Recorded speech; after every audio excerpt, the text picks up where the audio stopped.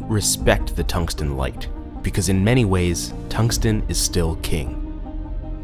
But never has tungsten been so small, never has it been so compact, and never has it had so much potential. Introducing the Amaran MX and F7. The MX and F7 are the bright new faces of the Aputure family, each a champion of its own class. Boasting over 1,200 lux at half a meter away, the Amaran MX is the most powerful micro LED on the market. And at 5,500 lux, the Amaran F7 is the brightest pound for pound on camera light ever made. But similar as they seem, each light comes from a vastly different background. The MX stems from the one and only M9, a light that already succeeded in changing the game. The MX hails from this prestige and takes it a step further. Powered by user feedback, the MX features a robust aircraft aluminum build designed not only to withstand the turbulence of a fast moving set, but also a quarter 20 mount, allowing it to be secured to anything. The metal housing of the MX adds size and weight, so for those looking for ultimate portability, the M9 still reigns king. But for those looking for strength, what the MX loses in portability and weight is made up for in power. The Amaran MX is three times brighter than the M9, and with the newly added boost feature, which pushes the LEDs even harder for a 60 second cycle, the MX is capable of reaching an intensity level that is nearly four times as bright as the M9. And with the ability to change color temperature from an ultra warm 2800K to ultra cool 6500K. The MX is a bicolor chameleon unlike any other.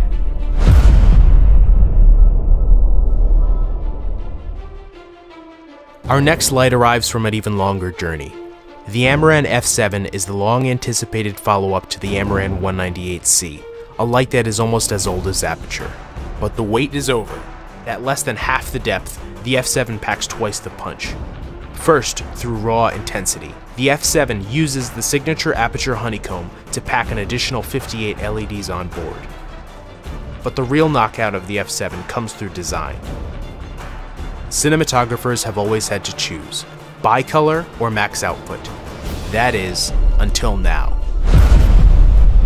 By utilizing LEDs of an ultra cool 9500 Kelvin, not only is the F7 bicolor, but also, by pushing the cool range of the LED technology, the F7 carefully sets its center range at a perfect 5600K and accomplishes the impossible. It is the first fixture to be both bicolor and capable of max daylight. But strength alone isn't all that makes the F7 powerful.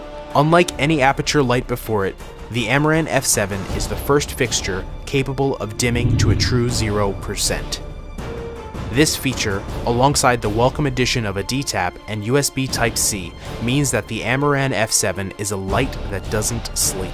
Packed with not only punch, but also speed, the F7 is designed to be the ultimate on-camera fighter light.